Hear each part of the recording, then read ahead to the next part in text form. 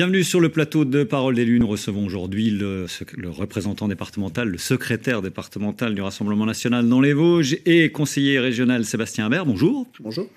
Alors on va revenir à votre engagement euh, au sein de, ce parti-là, euh, d'extrême droite. D'ailleurs, est-ce que cette terminologie euh, vous l'a rebuté systématiquement? J'ai jamais considéré que le Rassemblement national était un parti d'extrême droite. Je pense que c'est c'est un parti qui n'est ni de droite ni de gauche qu'on pourrait situer peut-être sur une, droite nationale. C'est un parti patriote. Voilà, je pense que c'est le, terme le plus adapté. De quand date votre engagement et pourquoi cet engagement dans ce parti-là? C'est une histoire de figure euh, et de, personnalité, c'est ça? Moi, je me suis euh, toujours intéressé à la politique assez jeune, parce que c'est vrai que j'étais aussi euh, passionné d'aménagement de, du territoire, de patrimoine, et puis je regardais beaucoup les, débats à la télévision euh, étant jeune. C'était pour moi un divertissement. Certains étaient intéressés par le sport. Moi, c'est la politique qui m'intéressait. Et puis, euh, suite à un, meeting auquel j'ai assisté de, Marine Le Pen à Metz en 2011, j'ai décidé d'adhérer. Puis, par la suite, de, militer sur le terrain pour, dans un premier temps, bah, euh, diffuser les idées de, ce parti, les idées de bon sens, alors avant de rencontrer Marine Le Pen, est-ce que vous aviez ces, idées-là ou est-ce que c'est euh, cette rencontre qui vous a fait euh, basculer? J'étais déjà, oui, euh, sympathisant du, Front National de l'époque et, finalement, ces, idées-là m'ont convaincu et notamment les idées principales qui tournent autour de la défense de la ruralité puisque c'était le, seul parti à en parler à l'époque, à, parler de la France des oubliés. Je vous pose cette question-là parce qu'on voit beaucoup de jeunes cadres dont vous faites partie. On sait que certains, faut être clair, hein, on, fait, on fait ce choix aussi peut-être par opportunisme, c'est-à-dire qu'au Rassemblement national, on va plus vite pour monter dans la hiérarchie, pour être tout à fait euh, transparent, que certains partis qui sont plus anciens.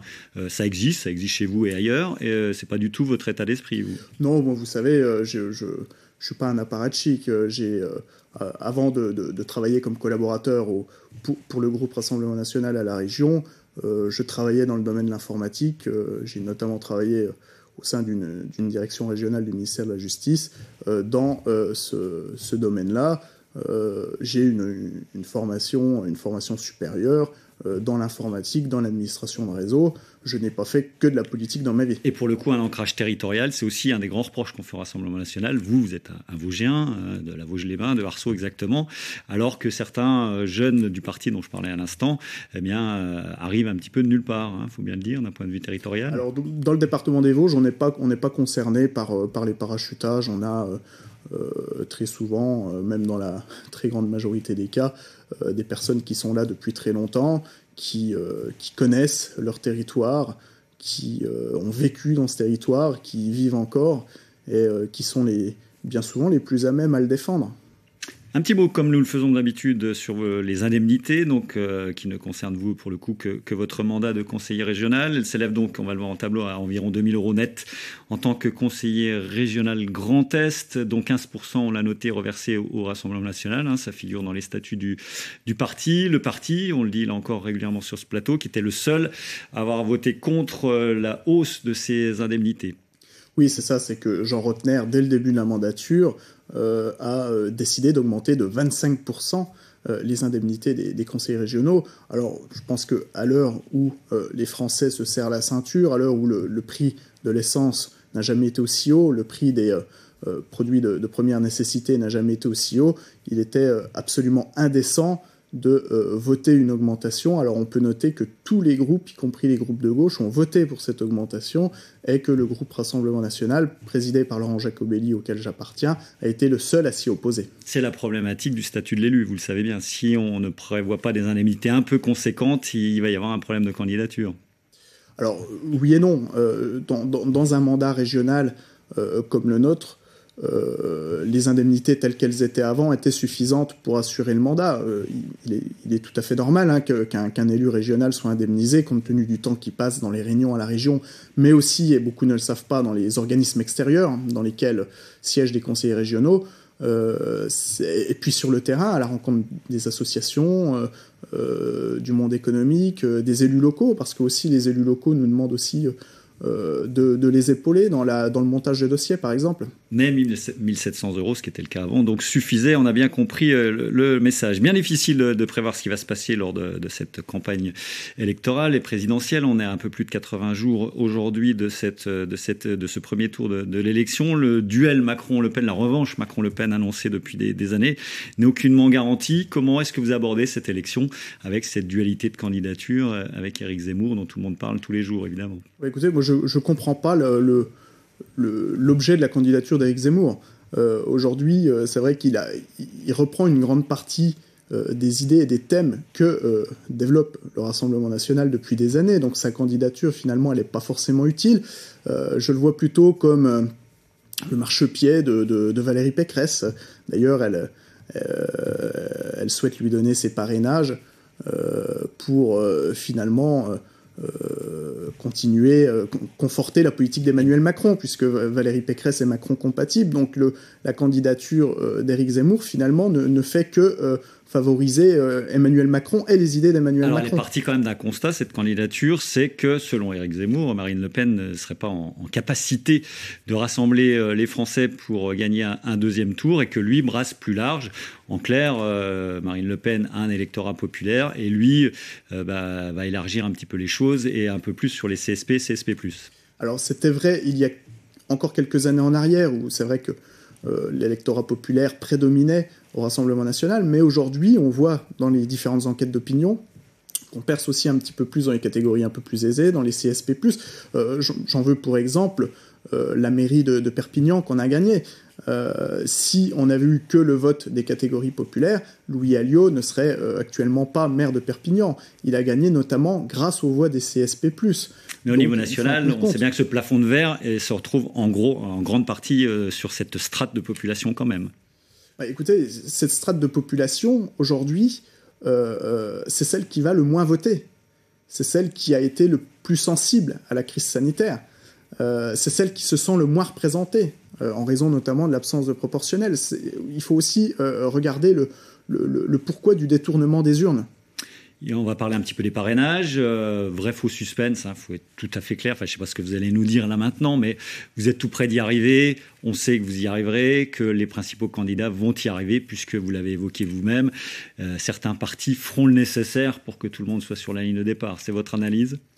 Écoutez, moi je, fais beaucoup de terrain, euh, je suis beaucoup dans le, département des Vosges à rencontrer les maires, et je me rends compte que le nouveau système qui fait que le Conseil constitutionnel euh, euh, affiche clairement euh, le, candidat parrainé par le maire, fait que vous avez derrière des maires qui, peuvent recevoir des pressions lorsqu'ils parrainent tel ou tel candidat. C'est plus compliqué, mais vous allez y arriver quand même. Et c'est ce qu'on ce qu'on entend. Alors c'est sûr, on, met systématiquement des bâtons dans les roues de la démocratie finalement.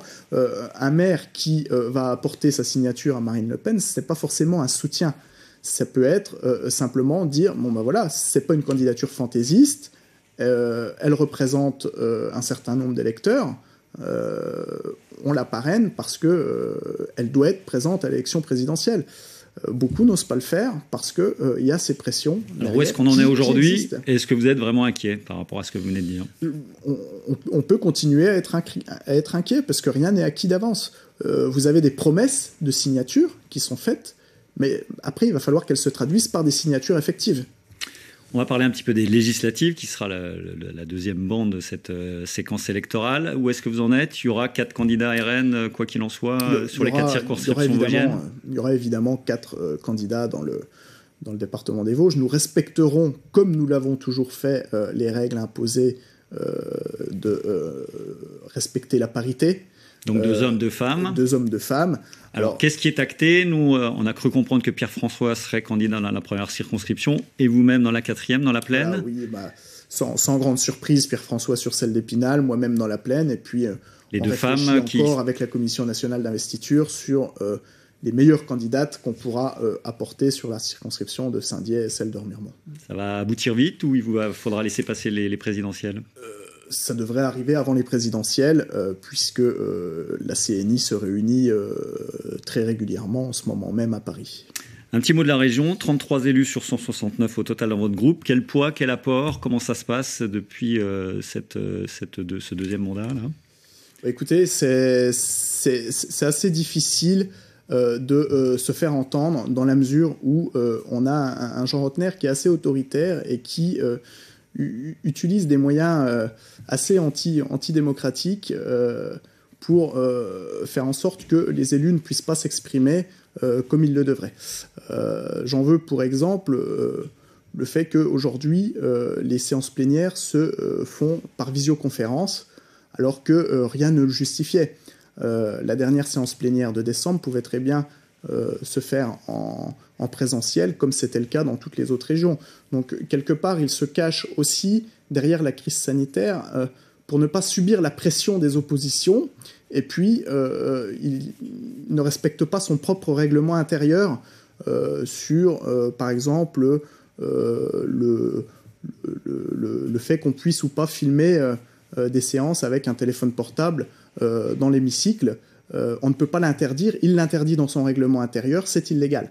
Donc il va y avoir un certain nombre de, de, de choses qui iront au tribunal administratif, naturellement. Deux dernières questions. On a vu quelques images de la réouverture de la, ligne 14 entre Épinal-Saint-Dié. Une bonne chose, euh, unanimement évidemment euh, louée. Euh, mais vous vous méfiez, j'imagine, comme l'extrême gauche peut-être, de, l'ouverture à la concurrence? Alors, l'ouverture à la concurrence n'est pas la réponse à, tous les mots, comme voudrait nous le faire croire David Valence, vice-président au, transport. bien souvent, l'ouverture à la concurrence, ça entraîne une augmentation du prix du billet comme on a pu le voir dans des délégations de services publics comme en Allemagne, dans des privatisations totales comme en Angleterre, où là on multiplie par trois le, le, prix du billet.